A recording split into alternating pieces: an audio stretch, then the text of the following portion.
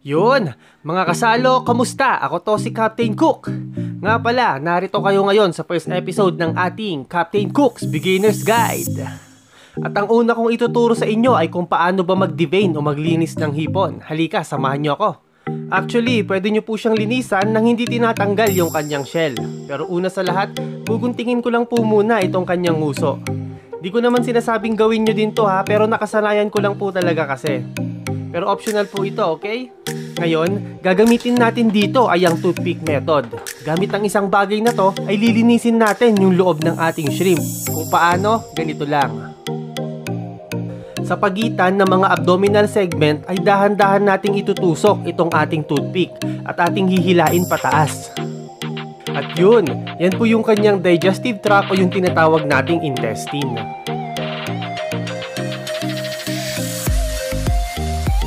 Tapos, dapat i-check din natin banda dito sa kanyang buntot kung meron pang naiwan tapos kung meron, tatanggalin din lang natin.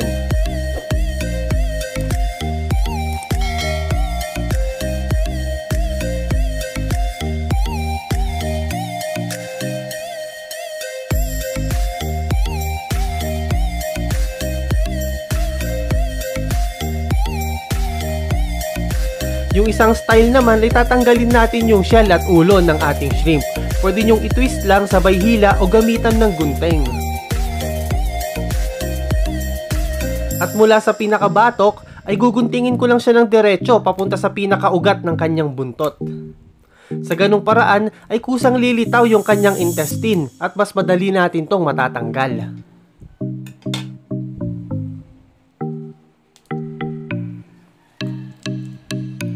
O di ba napakadali lang. Ngayon, tatanggalin naman natin yung shell at gamit yung toothpick, susungkitin natin yung kanyang intestine.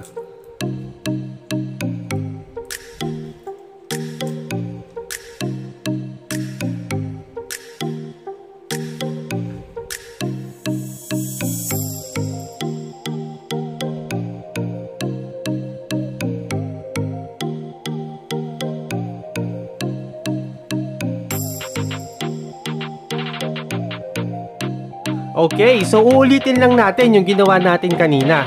Yung stilong to ng paglilinis ay okay para sa mga nagluluto ng garlic buttered shrimp dahil nga sa binubutasan nyo na yung shell niya, napapasok na rin ng sauce yung kanyang loob tapos nalilinis nyo na rin siya at the same time. Yun, so tutusukin lang natin to dito, sabay dahan-dahan nating hihilain pataas. Yun, sablay. Isa pa. Yun, di ba? At alam nyo ba kung anong laman nito? Mga putik, buhangin at saka kung ano-ano pa na kinakain nitong ating shrimp.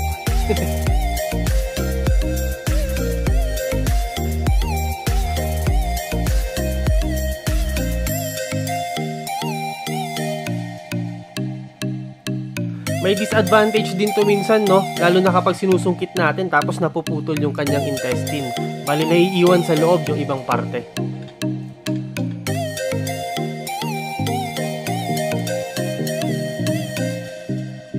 Ayun, eto naman yung tatanggalin natin ng buo yung kanyang shell tsaka yung kanyang ulo. Okay to para dun sa mga gumagawa ng tempura, lalong lalo na dun sa kumakain nito ng raw. Ayaw mo naman sigurong makain yung mga bagay na yan, di ba? Kaya mainam na may kaalaman ka na tulad nito. Nga pala, yung mga tinanggal nating ulo at mga shell ng hipon, pwede po nating itabayan at i-freezer. Dahil magagamit po natin yan pag gagawa tayo ng shrimp stock.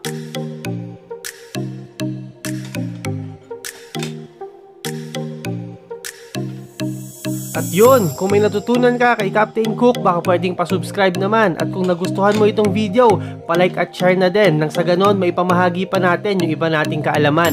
At tuloy-tuloy lang tayo.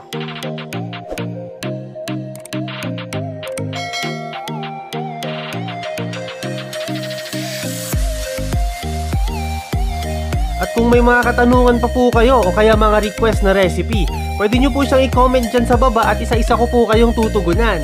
Alright, so paano ba yan? I'm out. Peace!